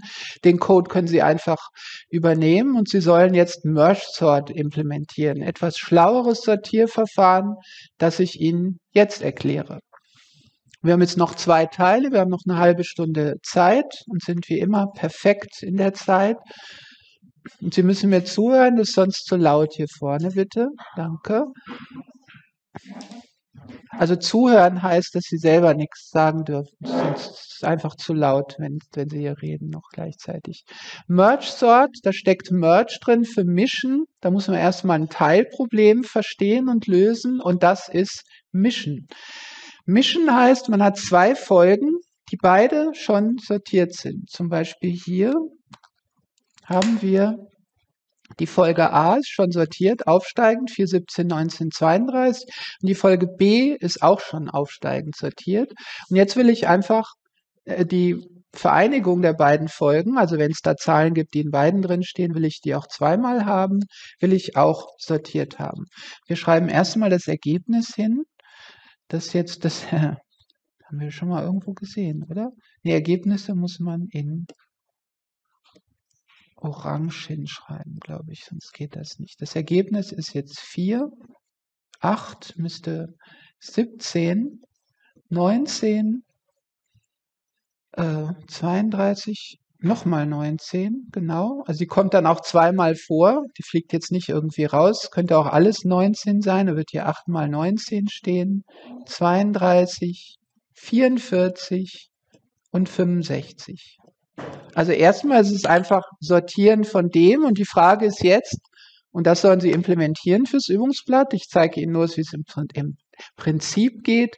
Wie kann ich davon profitieren, dass die jetzt schon sortiert sind? Das zeige ich Ihnen jetzt. Hier, jetzt machen wir das einfach Schritt für Schritt. Hier oben steht der Algorithmus, können Sie sich in Ruhe selber anschauen. Ich äh, zeige es Ihnen jetzt einfach am Beispiel, wie es geht. Was man hat, ist zwei Positionen, die man sich merkt. Am Anfang hier i in Folge a ist am Anfang 0 und hier haben wir äh, ein j in Folge b ist auch 0. Und jetzt schauen wir einfach anstelle i und j. Ich weiß gar nicht, ob ich den blöden Pfeil da brauche. Der macht das Bild irgendwie nur unübersichtlicher. Deswegen male ich das jetzt nochmal hin. Also am Anfang sind wir einfach bei beiden Folgen am Anfang i gleich 0 und j ist auch gleich 0. Sind wir also hier und jetzt schauen wir uns die beiden Zahlen an und nehmen die kleinere davon und schreiben die raus. Und das ist in diesem Fall die 4. Und da, wo wir es rausgeschrieben haben, gehen wir jetzt eins weiter. Jetzt sind wir also hier. Jetzt ist mein i hier und mein j ist noch da. Und jetzt schaue ich mir die beiden an. Jetzt schaue ich mir an äh, 17 und 8. Also da, wo mein i ist, da, wo mein j ist, schaue ich immer. 17, 8, welches ist kleiner? 8. Wunderbar. Komme ich hier wieder raus. 8. Und schreibe die dahin. Dann gehe ich in der Folge, wo ich rausgeschrieben habe, eins weiter. Jetzt bin ich hier. Äh, 17, 19. Ich schreibe die 17 raus, gehe da. Das muss nicht abwechselnd sein. Es könnte ja auch sein, dass alle in A kleiner als alle in B sind. Also das kann beliebig hin und her springen. Hier ist es jetzt relativ abwechselnd. 19, 19, da muss ich mich entscheiden. Ist ja egal, welche ich zuerst rausschreibe. Im Ergebnis steht jeweils 19. Schreiben wir doch die in Folge A zuerst raus. Ja, dann sind wir hier. Jetzt habe ich 32, 19. Dann werde ich die zweite 19 rausschreiben. Dann gehe ich hier eins weiter bin ich hier. 32, 44, jetzt schreibe ich die 32 raus und jetzt ist hier äh, Ende. Beziehungsweise Ende, ich muss gar nicht Ende schreiben, meinen Zähler werde ich hochzählen und der ist dann hier bei 4 und 4 ist gerade die Länge der Folge, weil es bei 0 anfängt, ist das dann am Ende. Ja? Also hier bin ich jetzt am Ende. Und wenn ich am Ende bin, dann vergleiche ich natürlich nichts mehr, sondern schreibe einfach alle von der anderen raus. Und das mache ich jetzt hier noch. Gibt es zu diesem wunderschönen Algorithmus, genannt Mischen, irgendeine Frage? schreibe ich jetzt hier die 65 raus. Den sollen Sie implementieren. Das ist sozusagen die Hälfte von der Implementierungsaufgabe. Wir sollen ihn ja dann auch noch äh, nicht 5, sondern 4 zum Sortieren verwenden. Und der ist im Grunde nicht schwer. Man muss sich halt überlegen, wie man das umsetzt und die Grenzfälle. Ne? Das ist äh, das ist was, was man ja beim Programmieren immer übt. Eine Folge ist schon am Ende, die andere nicht. Man kann irgendwie so lauter Kleinigkeiten falsch machen. Da muss man aufpassen. Irgendwelche Fragen zum, genau, Mission Impossible. Genau richtig. Da gibt es einen sehr gemeinen Cartoon zu, den zeige ich jetzt nicht. Der ist politisch nicht korrekt. So, gibt es da eine Frage zu? Keine Frage zum Mischen? Doch, eine Frage, ja bitte. Ähm, bei diesem Merge-Stop müssen dann die beiden Arrays müssen die, die gleiche Länge haben? Nein. Gute Frage, aber müssen sie nicht. Kann man sich vielleicht auch überlegen an dem Beispiel hier, wenn jetzt, war jetzt nicht wichtig, ne, dass die die gleiche Länge haben. Und eine Sache, die wir jetzt noch nicht untersuchen, die aber ganz interessant ist, die hier schon auffällt, man hat sich kein Element zweimal angeschaut, so wirklich. Ne? Man geht entweder in der einen oder in der anderen Folge weiter. Also man geht so einmal durch beides durch und dann ist man fertig. Eine schöne Eigenschaft von dem Algorithmus. Genau. So, gibt es sonst noch irgendeine Frage? Und dann schauen wir uns jetzt an, wie man das zum Sortieren verwendet. Und der Algorithmus ist jetzt schon cleverer, cleverer. Und jetzt müssen Sie wieder sich das die Eingabefolge merken von gerade. Genau. Okay, hier ist einfach die Grundidee. Die lasse ich jetzt einfach mal auf den Folien stehen und wir machen es jetzt zusammen am Beispiel. Beste Art, um irgendeinen neuen Algorithmus zu verstehen, ist immer an einem kleinen, nicht zu klein, nicht zu einfach, aber an einem kleinen Beispiel. Und das machen wir jetzt.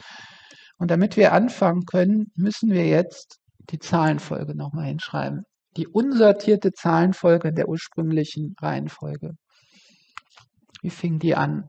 Das sind jetzt die ist auch Klausuraufgabe. Wie ist die unsortierte Reihenfolge der Zahlen aus der ersten Vorlesung? 17, oder? Ich glaube 17. Und dann? Was kam als nächstes? Hallo?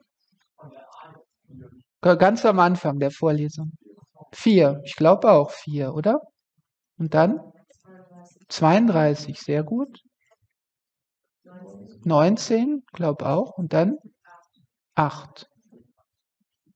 Und dann? 69? 65. Und jetzt 44 und 19. Genau. Sehr gut.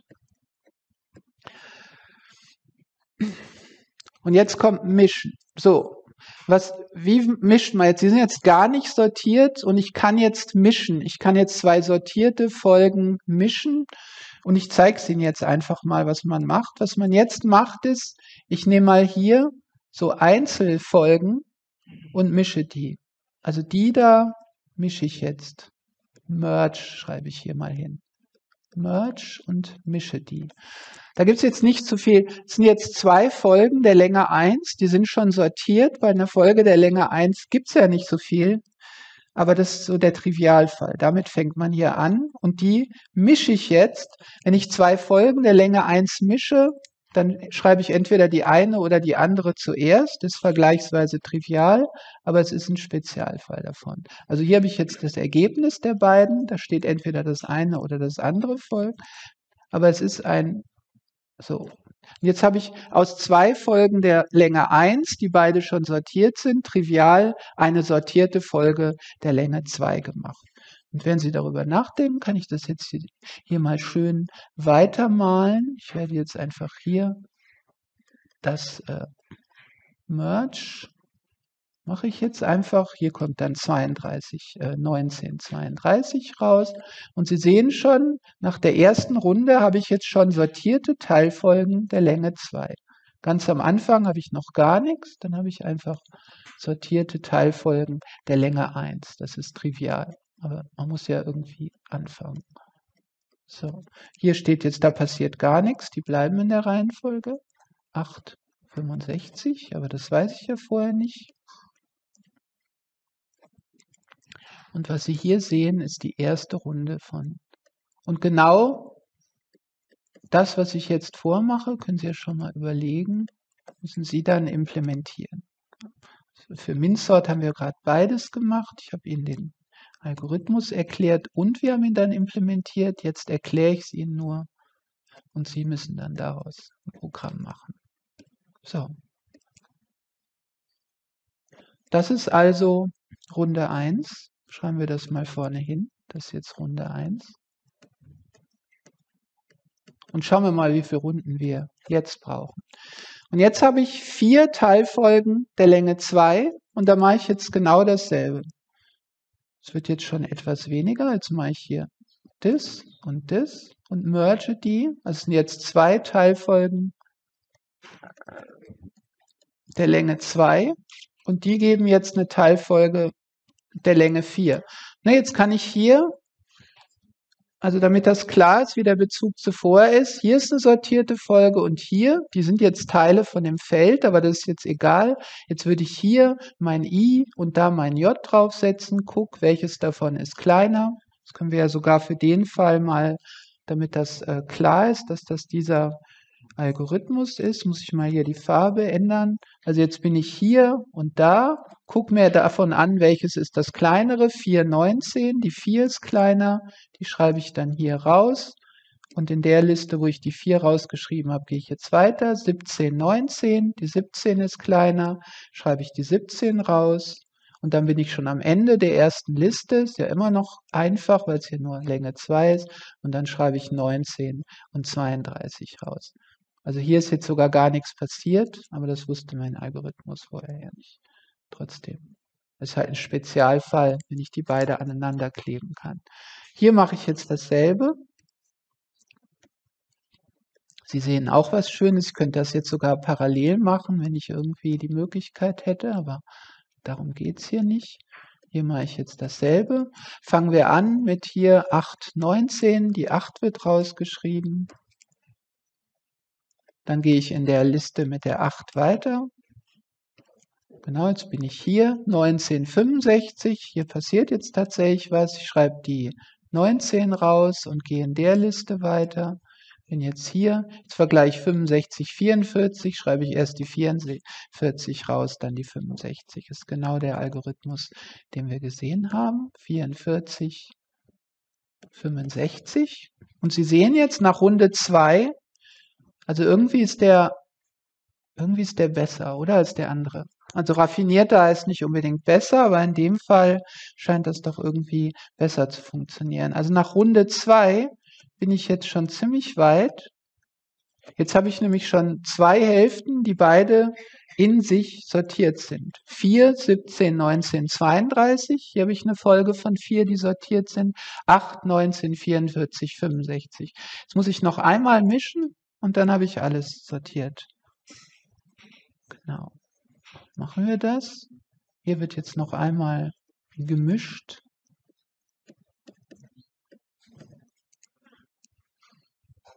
Und äh, ich sage es jetzt einfach, ich male jetzt keine Punkte mehr. Ich fange jetzt hier am Anfang an und hier am Anfang an. Also das zeige ich nochmal mit dem Pointer hier. Ich bin jetzt hier am Anfang und hier am Anfang, nehme das kleinere davon und gehe in der entsprechenden Liste eins weiter. Das machen wir jetzt einfach im Kopf. 4, 8, da kommt also zuerst die 4. Dann gehe ich in der ersten Liste eins weiter, bin ich bei 17, 17, 8, 8 in der Achterliste, dann 17, 19, kommt die 17, dann 19, 19 kommt die 19, dann kommt die andere 19, dann kommt die 32, dann kommt die 44, dann kommt die 65.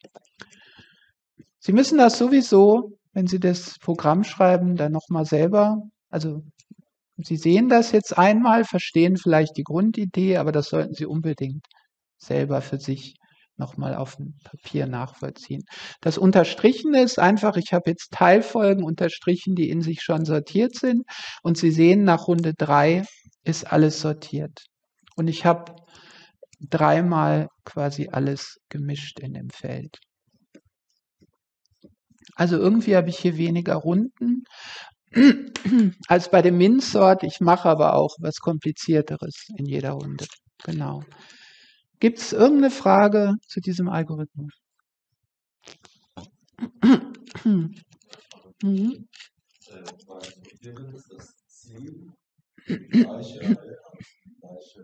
Liste mhm. sortieren und die gleiche Liste auch zu zurückgeben?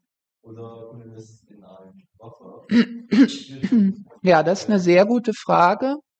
Das ist eine sehr gute Frage. Die Frage ist, soll das alles in dem Feld passieren? Hier zum Erklären habe ich ja immer das neue Feld, das habe ich auch bei dem MinSort gemacht, habe ich das äh, immer neu hingeschrieben, obwohl das MinSort ja tatsächlich alles in dem Feld gemacht hat. Ne? Der hat ja immer nur geswappt und hat nie ein zusätzliches Feld gebraucht.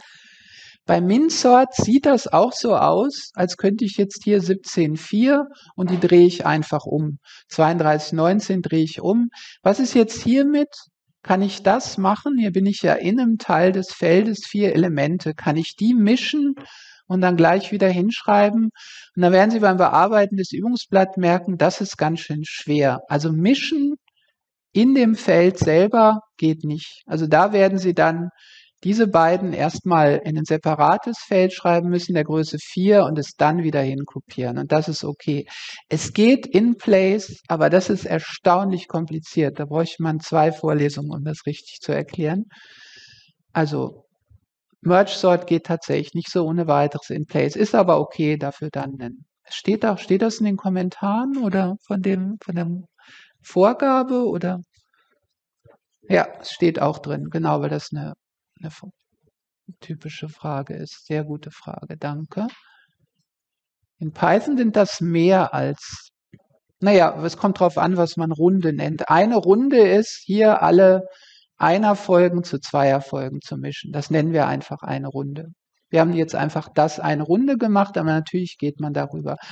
Und Sie sehen schon, fürs Programmieren ist es jetzt ein bisschen schwieriger, weil ich muss irgendwie mit den Indizes, wie mache ich das jetzt, dass ich hier dass ich einfach weiß, was ich hier mit was merge. Müssen Sie sich einfach ein bisschen überlegen und schauen, wie man das macht. Die Umsetzung in einem Programm ist jetzt nicht mehr ganz so einfach, aber Sie sollen ja auch ein bisschen nachdenken. Hier ist das allgemein nochmal erklärt und ein wichtiger Hinweis. Das hat jetzt so super funktioniert, so schön, weil Ende Zweierpotenz war, ja. Acht wenn man hier von hinten geht, acht. Wenn man das aufteilt, hat man zwei mal vier. Wenn man das aufteilt, hat man vier mal zwei. Wenn man es weiter aufteilt, acht mal eins. Das geht natürlich bei einer Nicht-Zweierpotenz nicht so einfach. Dann bleibt dann irgendwie am Ende was übrig. Ne? Wenn ich hier zum Beispiel zehn Elemente hätte, hätte ich hier noch einen zusätzlichen Zweier und hier hätte ich dann vier, vier und zwei. Ist gar nicht so viel schwerer, wenn Sie in Ruhe drüber nachdenken. Das heißt einfach nur, dass dann ein paar Felder am Ende einfach einfacher sind, für die ich vielleicht auch nichts machen muss. Ja? Wenn hier jetzt noch zwei mehr sind, dann würde ich einfach in der Runde damit nichts machen. Hätte die hier am Ende noch und würde die dann dazu mischen. Man muss sich einfach überlegen, was man macht, wenn n keine Zweierpotenz ist. Gehört auch zur Aufgabe. Erkläre ich jetzt extra nicht, damit Sie auch noch was zu tun haben fürs Übungsblatt gibt zudem, das ist jetzt Mischen, das ist Ihre Aufgabe fürs erste Übungsblatt. Wenn Sie das gemacht haben, dann die äh, Laufzeit berechnen, da können das, das, das schenken wir Ihnen ja. Hier können Sie einfach dasselbe Programm nehmen und rufen hier Merge Sort auf. Und dann malen Sie das Schaubild. Das ist geschenkt und sollen da ein bisschen drüber nachdenken, ob das jetzt besser oder schlechter ist. Gibt es dazu irgendeine Frage, bevor ich dann zum Abschluss noch was zu einem Kurssystem sage? Hier gibt es im Chat was. Ja, genau. Im, Im, Chat wird schon Merge Sort und Minch Sort verglichen. Das ist genau die Frage, auch beim ersten Übungsblatt. Welcher ist denn jetzt besser? Merge Sort sieht irgendwie cleverer aus, aber macht auch kompliziertere Sachen. Bei MinSort geht man auch durch. Genau das Thema der nächsten zwei Vorlesungen. Das irgendwie genauer zu machen, wann jetzt ein Algorithmus besser ist als der andere. Das Prinzip dahinter sei hier noch kurz erwähnt. Man nennt das Divide and Conquer. Wenn man irgendwie ein komplexes Problem so in äh, Teilprobleme aufbricht. Genau. Also ich habe ein Problem sortieren, wenn ich das hier von hinten angucke. Ich will jetzt das ganze Ding sortieren und ich sortiere dann erstmal kleine Teilfolgen und bastel daraus sortierte Teilfolgen. Hier machen wir es. Das Ganze kann man auch rekursiv machen. Hier haben wir es iterativ gemacht. Ich fange mit kleinen Folgen an und mische die zusammen. Dazu habe ich doch auch noch eine Umfrage vorbereitet, die ich jetzt launche. Thema Rekursion. Es gibt noch eine Umfrage, es gibt noch zwei Umfragen. Sie können gerne schon mal, haben Sie schon mal gehört, was Rekursion ist? Genau. Also fürs Übungsblatt ist nicht erlaubt, den rekursiv zu implementieren. Sie sollen das extra iterativ machen. Jetzt muss ich meinen Mauszeiger wiederfinden. Divide and Conquer heißt das. Das ist so einer der Begriffe, den Sie vielleicht schon mal gehört haben. Äh, hier eine Folie zur Etymologie. Hintergrund Allgemeinbildung ist sehr wichtig. Äh, auf Englisch Divide and Conquer gibt es in allen möglichen Sprachen. Tatsächlich äh, kommt das aus der Kriegsführung. Ja, man, wenn man irgendein Volk oder sowas beherrschen will, dann teilt man die einfach in viele kleine Gruppen und lässt die sich selber zerfleischen. Ja, also daher kommt der Begriff. Gibt ziemlich viele Begriffe in Wissenschaften, Informatik, sonst so, die eigentlich aus äh, Kriegsführung kommen. Kann man darüber streiten, ob das äh, so geschickt ist, Verfahren der Informatik so zu nennen. Ich wollte das nur mal anmerken. Der Flugplatz Freiburg hat ja übrigens auch eine militärische Vergangenheit. Können Sie hier nachlesen im Wikipedia-Artikel, wurde er dann ja auch jetzt äh, umgewidmet. Aber vor äh, 89 war die Nutzung ja immer militärisch. Gut, schauen wir gleich mal das äh, Umfrageergebnis an. Wo sind wir bei? Ich beende das mal und teile das Ergebnis. Was haben wir? Rekursion, ein Viertel hat schon mal gehört, ein Viertel gehört, aber nie wirklich verstanden. Wir kommen, Rekursion ist auch echt tricky, hat nichts mit Elektromobilität zu tun, genau. Und um zu verstehen, was Rekursion ist, muss man erstmal verstehen, was Rekursion ist. Genau. Wunderbar. Kommen wir jetzt zum letzten kurzen Teil, zu den Kurssystemen. Es wurde schon gefragt, Acht Minuten müssen Sie mir jetzt noch zuhören, dann können Sie sich ans Übungsblatt machen. Wie gibt man das eigentlich ab? Das will ich Ihnen jetzt noch ganz kurz zeigen. Unser Kursverwaltungssystem Daphne, der Armin Biere benutzt es auch für Programmieren in C++. Das ist prima. Sie müssen, ich höre Sie zu laut, wenn Sie reden, müssen leider noch schweigen für acht Minuten. Also prima, dann äh, müssen Sie es nicht zweimal lernen für zwei verschiedene Veranstaltungen. Erstmal müssen Sie sich anmelden, Link auf der Wiki-Seite. Und da sehen Sie dann alles, ja, was Sie brauchen. Sie sehen ab nächster Woche, wem Sie zugewiesen sind, wie viele Punkte Sie gerade haben, Link zum Forum, zum SVN und die erkläre ich jetzt kurz und zu unserem Bildsystem. Die äh, zeige ich kurz und erkläre sie dann. Forum kann man Fragen stellen. Unbedingt, das ist wirklich wichtig. Deswegen brauche ich jetzt noch die acht Minuten. Es gibt hier auf der Seite links hier auch Regeln, Forum, Anleitung, Forum. Steht hier auch nochmal in Fett. Müssen Sie einmal unbedingt lesen, weil das wirklich wichtig ist. Ich glaube, ich lese das jetzt nicht äh, ganz vor, außer ein paar wesentliche Punkte. Also erstmal natürlich den Fehler selber suchen, aber um Gottes Willen nicht stundenlang nach dem Fehler suchen. Das ist ungeheuer frustrierend. Ein paar Minuten ist ganz gut.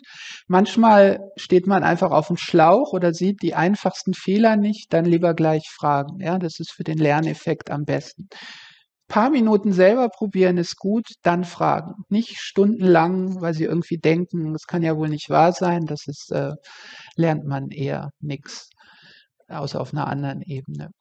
Ganz wichtig, meistens kriegen Sie irgendeine Fehlermeldung, die Sie vielleicht nicht verstehen oder nicht wissen, was Sie damit machen sollen. Fehlermeldungen einfach erstmal googeln. Ja, in 90 Prozent der Fälle kommt man dann zum Stack Overflow Post, wo die Lösung steht. Dann braucht man es nicht im Forum fragen. Also wirklich Copy, Paste und man kriegt die Erklärung. Dann können Sie es auch selber machen. Wenn das nicht fruchtet, mal ins Forum schauen, ob nicht jemand genau dieselbe Frage auch gestellt hat. Vielleicht haben wir ja auch einen Fehler gemacht. Also die Vorarbeit sollten Sie leisten, ganz wichtig. Und dann, wenn Sie jetzt fragen, auch ganz wichtig, wenn es eine Fehlermeldung ist, bitte nicht schreiben, ich habe da einen Fehler, bitte helfen, sondern die Fehlermeldung ins Forum schreiben, ja, und zwar Copy-Paste, nicht die Fehlermeldung beschreiben, sondern genau sagen, ich habe diesen Fehler bekommen. Und meistens steht dann da eine Zeilennummer zu Ihrem Programm und dann sollten Sie auch den Teil vom Code posten. Nicht den ganzen Post, sondern den Teil. Und auch ganz wichtig, immer, wenn Sie einen Fehler haben und irgendwie nicht weiterkommen, dann sollte der Code, mit dem Sie gerade nicht weiterkommen, auch im SVN stehen, ja, damit wir bei Bedarf gucken können. Aber wir gucken da in der Regel nicht rein, nur für alle Fälle, dass wenn wir irgendwie aus Ihrer Frage nicht schlau werden, weil Sie gerade einfach überhaupt nicht wissen, was los ist, dann können wir uns einfach mal den Code angucken. Das ist aber nur der Backup. Also bitte lesen Sie sich das durch, das ist wirklich wichtig. Ja, wir helfen Ihnen sehr gerne und das klappt auch sehr gut, aber Sie müssen uns helfen, damit wir Ihnen gut helfen können. Genau. Und dann wird einer antworten, genau. SVN, das zeige ich Ihnen jetzt kurz, indem ich einfach mal Armin Bierer hat es vielleicht schon gezeigt. Und zu alledem auch zu dem, was ich hier gemacht habe. Manche haben jetzt vielleicht noch nie in so einer Linux-Konsole Sachen. Das hier war jetzt einfach ein Texteditor. Das war eine Konsole, wo ich so Befehle eingegeben habe. Wenn das für Sie alles relativ neu, unvertraut ist, kommen Sie zu der Einführungsveranstaltung. Und ich würde sagen, die Umfrage starte ich jetzt schon mal. Und jetzt ganz wichtig, die Umfrage, die ich jetzt starte, sollten nur die ausfüllen, die dann auch kommen. Ja? Sie brauchen jetzt nicht sagen, da kann ich nicht oder da kann ich, wenn. Und ich hoffe, ich habe das Multiple Choice gemacht. Das muss ich gerade mal nachschauen. Nee, da steht tatsächlich Single Choice. Das war ja okay. Ist gut, dass ich nochmal nachgeschaut habe. So. Also Sie kriegen jetzt hier diese Umfrage, Crashkurs, und es geht um den Termin, ja. Und bitte nur abstimmen, wenn Sie da auch kommen wollen, mit sehr hoher Wahrscheinlichkeit. Wir nehmen jetzt einfach den Termin, an dem die meisten können. Es wird aufgezeichnet, nicht in Präsenz, aber wird aufgezeichnet und wir schauen mal, was da rauskommt. Jetzt einfach die letzten drei Minuten noch machen und ich werde es jetzt ganz kurz vormachen. Für manche reicht das ja vielleicht schon, alle anderen kommen dann einfach zu dieser Zusatzveranstaltung. So, was Sie jetzt machen können, passen Sie auf, ich kann mich jetzt hier in Daphne äh, einmal abmelden und einmal anmelden. Genau, mit der Authentifizierung hat Daphne immer so seine Probleme. Hm. Ich kann Ihnen hier den Super-Hack zeigen. Wenn es in Daphne länger dauert, macht mal den Inkognito-Tab auf. Und da sind nämlich dann alle Cookies gelöscht. Hier bin ich jetzt Test-User, melde mich an, gehe auf Algorithmen und Datenstrukturen. Wenn Sie sich einmal anmelden und hier kriegen Sie jetzt SVN. SVN ist einfach irgendwas von Ihnen, was bei uns liegt, so ein zentrales Repository. Armin Bieratz, Sie müssen aufhören zu reden, das ist zu laut. Noch drei Minuten bitte. Ich kann jetzt hier, ich mache es ganz schnell vor, ich kann jetzt hier einfach mal SVN Checkout. Jetzt kriegen Sie einfach von allem, was bei uns über Sie zu dieser Vorlesung gespeichert ist, können Sie jetzt auschecken. Jetzt kriegen Sie hier ein Verzeichnis Test, in das ich reingehen kann. So, Test. Da steht jetzt nichts drin. Jetzt tun wir einfach mal so, als hätte ich, als wäre das, was ich in der Vorlesung heute geschrieben habe, mein erstes Übungsblatt. Das muss ich so nennen, steht auch auf dem ersten Übungsblatt, Blatt 01. Und jetzt kopiere ich da einfach mal meinen Code hin, den ich heute geschrieben habe. Dieses Make-File habe ich jetzt gar nicht erklärt. Das äh, kopiere ich da aber trotzdem hin. Blatt 01 und außerdem den Code minsort.py kopiere ich da auch hin. Nach Blatt 01, wunderbar. Jetzt habe ich also hier einen Ordner Blatt 01, da steht dieses in dem Make-File Erkläre ich jetzt nicht, wird in der äh, Zusatzveranstaltung implement, äh, erklärt. Sie müssen es einfach nur kopieren. Sie müssen es gar nicht verstehen. Das Makefile sorgt einfach dafür, damit dieses System, das ich gleich zeige, automatisch schaut, kompiliert das, werden, laufen die Tests alle durch, stimmt der Style und äh, alle komischen Dateien löschen. So, das steht also jetzt im Ordner Blatt 01. Jetzt kann ich einfach mal diesen Ordner committen. Blatt, nee, erstmal muss ich ihn adden. Sagen, diese Dateien sind neu, die möchte ich jetzt mit neu hochladen. Wenn ich add einen Ordner mache, werden auch alle Dateien da drin zugefügt. Frank, wir sind gleich fertig. Wir sind wie immer perfekt in der Zeit. Jetzt mache ich hier CI.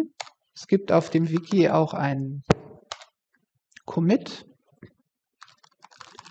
Code for UB1. Not really, ja. Also Kommentare können Sie es jetzt aus dem ersten Übungsblatt. Und jetzt lade ich das hoch, was ich da. So, jetzt schicke ich das hin. Jetzt wird das auf unseren Server hochgeladen und jeder von Ihnen hat ein eigenes Verzeichnis da. Und jetzt müsste ich das hier auch sehen. Ja, wenn Sie jetzt auf Daphne, wenn ich jetzt hier hingehe, sehe ich das. Jetzt sehe ich den Ordner Blatt 01 mit dem Make-File und meinen beiden. Das ist jetzt der Code, den wir geschrieben haben. Also was das SVN macht, ist einfach Sachen zu uns hochladen oder mit SVN Update kriegen Sie Sachen von uns, zum Beispiel das Feedback von Ihrem Tutor oder Tutorin. Und noch eine Minute bitte. Was auch passiert, ist das hier. Hier läuft jetzt was. Jetzt warten wir einfach einen Moment, bis das hier hier läuft jetzt gerade was. Hier steht jetzt Build Running. Ist vielleicht etwas klein, so dass wir das nicht äh, sehen können. Müssen einen Moment warten. Was jetzt passiert ist, dass bei uns, sobald Sie was Neues da hochladen, wird das automatisch ausgecheckt und es wird geschaut, kompiliert das, laufen die Tests und alles. Und jetzt sehen wir hier, das ist schief gegangen. Wir können auch genau weil vielleicht lief es ja bei Ihnen aus irgendwelchen komischen Gründen, aber dann vergessen Sie, eine Datei hochzuladen. Und hier sehen wir, es kompiliert, das ist durchgelaufen, die Tests sind durchgelaufen, aber der Style gefällt nicht. Ja, hier war irgendwie unser Style-Checker sagt, da fehlt, äh, ist eine Leerzeile zu viel. Den können Sie auch lokal bei sich laufen lassen, können das korrigieren und dann Sie sollten einfach hier keine Fehler beim Durchlaufen haben. Und der Vorteil ist einfach, Sie können nachschauen, ob das, was Sie hochgeladen haben, fehlerfrei durchläuft. Und dann haben Sie einfach schon vor dem Abgabetermin die Rückmeldung. Jawohl, das klappt alles. Das wollte ich kurz zeigen. Und jetzt, glaube ich, sind wir am Ende und ich kann noch kurz das Genau, das habe ich gerade erklärt. Und jetzt schauen wir das Ergebnis der Umfrage an. Na, das ist ja, ich würde sagen, Donnerstag 12 bis 13 Uhr, oder? Also, das schreibe ich jetzt noch hin. Oh, jetzt ist mir in letzter Sekunde hier der Dings runtergefallen. Das schreibe ich gerade noch auf die Folien. Donnerstag Ah, die Leute auf Zoom können es vielleicht nicht sehen. Donnerstag 12 bis 13 Uhr. Der, äh, das wird dann über Zoom sein und der Link wird noch Bescheid gegeben. Und jetzt haben Sie noch Gelegenheit, also Donnerstag. Gibt es gerade noch irgendwelche Fragen? 12 bis 13 Uhr. Gerne fragen, können auch einfach.